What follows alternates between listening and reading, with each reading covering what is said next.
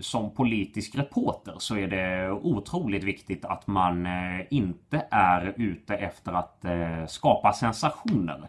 Eh, utan att man förhåller sig objektiv till den granskning man gör av de olika partierna.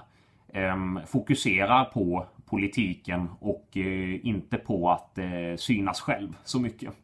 Och också viktigt att man är noggrann med källorna, kollar dem ordentligt Eh, så att de stämmer och att man eh, inte är för snabb innan man breakar en eh, nyhet. Det är väldigt viktigt.